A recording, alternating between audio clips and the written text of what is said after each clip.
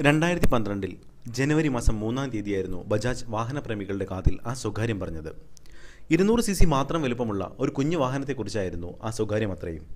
Cute എന്നായിരിക്കും ഈ ഇളം തലമുറക്കാരന് പേരിടുക എന്നാണ് അന്ന് ബജാജ് പറഞ്ഞിരുന്നത്. ടീസറിൽ കണ്ടപ്പോൾ അതൊരു സുന്ദരമായ കളിപ്പാട്ടമായാണ് തോന്നിയത്.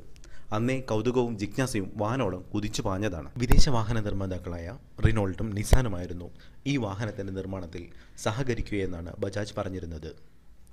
ഇരുന്നൂറ് സി സിയിൽ മുപ്പത്താറ് കിലോമീറ്റർ ഡീസൽ മൈലേജ് എന്ന സ്വപ്ന വാഗ്ദാനമാണ് അന്ന് ബജാജ് വാഹനപ്രേമികളുടെ മനസ്സിലേക്ക് ചില്ലറ തൊട്ടുകൾ പോലെ വലിച്ചെറിഞ്ഞത്. ആ വാഗ്ദാനം സത്യമാണെന്ന് ആളുകൾ പറഞ്ഞു തുടങ്ങിയിരിക്കുന്നു. ഈ വാഹനത്തിന്റെ കൺസെപ്റ്റ് മോഡൽ കണ്ട അന്നു മുതൽ മനസ്സിൽ തുടിച്ചു നിന്ന സങ്കല്പമായിരുന്നു ഇവനെ ഒന്ന് എന്റെ ഗ്രാമത്തിലെ അങ്ങാടിയിൽ വെച്ച് കണ്ടുമുട്ടുക എന്നത്. ഇന്നലെ ഒരു അത്യാവശ്യത്തിന് മലപ്പുറത്ത് പോകുമ്പോഴാണ് രണ്ടായിരത്തി പന്ത്രണ്ടിൽ മനസ്സിൽ കൂടുകൂട്ടിയ ക്യൂട്ടിനെ മേൽമുറി അങ്ങാടിയിലെ ഓട്ടോ സ്റ്റാൻഡിൽ അപ്രതീക്ഷിതമായി കണ്ടത്. മുച്ചക്ര വാഹനങ്ങളുടെ നീണ്ട നിരയിൽ നിവർന്നു കിടക്കുന്ന ക്യൂട്ടിനെ കാണാൻ മറ്റൊന്നും ആലോചിക്കാതെ ഞാനും സുഹൃത്തും മൃണാളും ഞങ്ങളുടെ വാഹനം തിരിച്ചുവിട്ടു. ക്യൂട്ടിനെ കാണുവാനുള്ള ആഗ്രഹം ഏറെ പഴയതായതുകൊണ്ടാവണം ഓരോ നോട്ടത്തിലും ഒരു വിന്റേജ് ലുക്കുണ്ടായിരുന്നു മനസ്സിൽ സങ്കല്പിച്ചതിനോളം കൗതുകം തരുന്നതായിരുന്നു പുറത്തും അകത്തും ഈ വാഹനം. മലപ്പുറം ജില്ലയിലെ ആദ്യത്തെ വാഹനമാണ് ഇതെന്നാണ് വാഹനമുടമയായ ഷാഫി എന്ന സഹൃദയനായ ചെറുപ്പക്കാരൻ ഞങ്ങളോട് പറഞ്ഞത്. ആദ്യം ഇറങ്ങിയ വാഹനം ആദ്യം തന്നെ കണ്ട ചാരിതാർത്ഥ്യത്തോടെ ഞങ്ങൾ ചുറ്റി നടന്ന് കണ്ടു. ഷാഫി ഞങ്ങളോട് വാഹനത്തിന്റെ അകവും പുറവും എന്താണെന്ന് സന്തോഷത്തോടെ നിർത്താതെ പറഞ്ഞുകൊണ്ടേയിരുന്നു. ഷാഫിയാണ്. ഓർഡർ ചെയ്തിട്ട് ഇപ്പോൾ രണ്ട് ദിവസം മുമ്പ് മൂന്ന് ദിവസമായി വണ്ടി കിട്ടിയിട്ട്. ഇന്ത്യയിൽ ആകെ ഇറങ്ങേണ്ടി ഇരുപത്തിനാല് വണ്ടിയെന്നാണ് പറഞ്ഞത്. അതിൽ ഫസ്റ്റ് ഓർഡർ കൊടുത്തത് നമ്മളെന്നാണ് പറഞ്ഞത്? ഇവിടുന്ന്. ഇന്ത്യയിലായിട്ട് ഫസ്റ്റ് ഓർഡർ കൊടുത്തത് നമ്മളാന്ന് അവർ പറഞ്ഞത് പിന്നെ നമ്മൾ ഓടിച്ചു മൂന്ന് ദിവസമായി ഇപ്പോൾ കുഴപ്പമൊന്നുമില്ല. വണ്ടി ഓടിക്കാതിരിക്കാൻ നല്ല സൗകര്യമാണ്. യാത്രക്കാർക്ക് സഞ്ചരിക്കാനും എല്ലാം കൊണ്ടും പിന്നെ ഈ സ്റ്റാൻഡിന്റെ പേരെന്താണ്? ഇത് മേൽമുറി കോണോമ്പാറ മലപ്പുറത്ത്. മലപ്പുറം മേൽമുറി കോണോമ്പാറ ഇവിടെ ഇപ്പൊ ആദ്യം മലപ്പുറത്ത് ആകെ ഇറങ്ങിയിട്ട് നാല് വർഷമായി മറ്റേ അപ്പോ അതിൽ വേറൊക്കെ എത്ര ത്രീ വീലർ ഓടിച്ചിരുന്നു. ഓടിച്ചു ഓടിച്ചിരുന്നു. പത്ത് വർഷത്തോളമായിട്ട് ഓടിക്കുന്നുണ്ട്. അപ്പോൾ അതും ഇതും തമ്മിലുള്ള വ്യത്യാസം? ഇതൊന്നും കൂടി മാറ്റം ഒരു ചേഞ്ചിങ് ഒരു എല്ലാം കൊണ്ട് ഒരു ഉഷാറായിട്ട് ഒരു ടൂറൊക്കെ ഒരു ഫാമിലി ടൂറിനൊക്കെ സഞ്ചരിക്കാനൊക്കെ.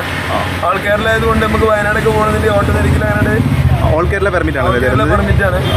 പിന്നെ ഓട്ടോ നിരക്കിലാകുമ്പോൾ എല്ലാവർക്കും കൂടുതൽ യാത്ര ചെയ്യാനും ലോങ് പോകാനൊക്കെ ഉപകാരപ്പെടും. ഡ്രൈവിംഗിൽ കംഫർട്ട് എങ്ങനെയാണ് ഒരു കുഴപ്പമില്ല. നല്ല സാറാണ് നല്ല ഉഷാറാണ്. ഡ്രൈവിങ്ങിനും സ്റ്റാറിങ്ങും ഗിയറും പവർ അല്ലെങ്കിൽ അല്ലെങ്കിലും പവർ ഷാറിംഗ് പോലെ തന്നെ. ആണല്ലേ? ടൈറ്റ് ഒന്നും സീറ്റിന്റെ ഇവിടെ രണ്ട് ഡിക്കുണ്ട്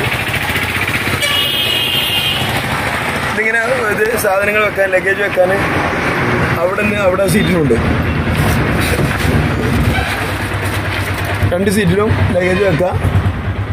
പിന്നെ ഡോർ പേഡിന് ഒരുപാട് സൗകര്യമുണ്ട്. എല്ലാ സാധനങ്ങളും വെക്കാനും ഇതിനൊക്കെ. പിന്നെ അതുപോലെ തന്നെ രണ്ട് ബോക്സ് പിന്നെ ഫസ്റ്റ് എയ്ഡ് ബോക്സ് ആയിട്ട് രണ്ട് ബോക്സ് വരുന്നുണ്ട്. അത്യാവശ്യം സാധനങ്ങളൊക്കെ. വെക്കാം പിന്നെ ഇതിന്റെ ഇടുന്ന ഇവിടെയാണ്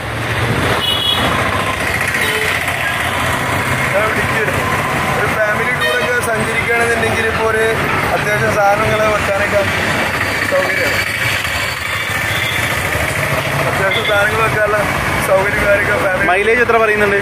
മൈലേജ് മുപ്പത്താറ് പറയുന്നുണ്ട്. ഞാൻ ഇപ്പോൾ മിഞ്ഞാന്ന് ഫുൾ ടാങ്ക് അടിച്ചാണ്.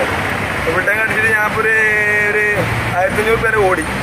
ഇപ്പോഴും രണ്ട് കണ്ടേ പോയിട്ടുള്ളൂ. ഇനി ഒരു മൂന്ന് കട്ടിക്കുണ്ടായില്ലേ മൊത്തം അഞ്ച് കണ്ടേ വരുന്നത് നിങ്ങളെ പഴയ കസ്റ്റമേഴ്സിന് ആ വണ്ടിയാണോ ഈ വണ്ടിയാണോ? ഒക്കെ ആയിരം വരുന്നുള്ളൂ. പിന്നെ ആളുകൾക്ക് ചെറിയൊരു പേടിയൊക്കെ ഉണ്ട്. ഇത് വന്നായിരിക്കും കൂടി ഇട്ടിയതായതുകൊണ്ട് ആ, ആ. പിന്നെ ആളുകളെ അറിഞ്ഞു വരുന്നുള്ളൂ. അപ്പൊ ഞാനൊരു ടാക്സി ബോർഡിനൊക്കെ വെച്ചു. ആളുകൾക്ക് അറിഞ്ഞു വരുന്നുള്ളൂ. ആളുകൾ എന്താന്നുള്ള ഒരു പരിഭ്രാന്തിയിലാണിത്. ഓട്ടോ തന്നെ ആണോ ഇനി, കാറിന് നിരക്ക് വേണ്ടി വരുമോ? ചാർജ് എങ്ങനെയാണ് നിങ്ങൾ മേടിക്കണേ? മിനിമം ചാർജ് ഇരുപത്. ഓട്ടോ ചാർജ് ഒരു ഒരു വിപ്ലവം ഉണ്ടാക്കുന്നതാണ് വിചാരിക്കണേ. ആ കുഴപ്പമില്ല ഉഷാറാവുന്നതാണ്. വില എത്രയാണ് വരണേ? രണ്ടേ തൊണ്ണൂറ്റഞ്ച്. മറ്റേ മറ്റേനെ വെച്ച് നോക്കുമ്പോൾ അല്ല വില വ്യത്യാസം ഉണ്ടതല്ലേ ആ വ്യത്യാസം ത്രീ വീലറും പിന്നെ ടാക്സി വെച്ചാണ് വ്യത്യാസം തന്നെയാണ് പക്ഷെ നമുക്ക് സഞ്ചരിക്കാനൊന്നും കൂടി ഒരു വാ- ഡോറൊക്കെ വെച്ചിട്ട് കുട്ടികൾക്ക് പോകണമെന്നുണ്ടെങ്കിലൊക്കെ കുട്ടികളൊക്കെ ശരിക്കും എയർ സർക്കുലേഷൻ കിട്ടുന്നുണ്ടോ? അപ്പോൾ കിട്ടും. അത് കിട്ടും. അങ്ങനത്തെ പ്രശ്നമൊന്നുമില്ല.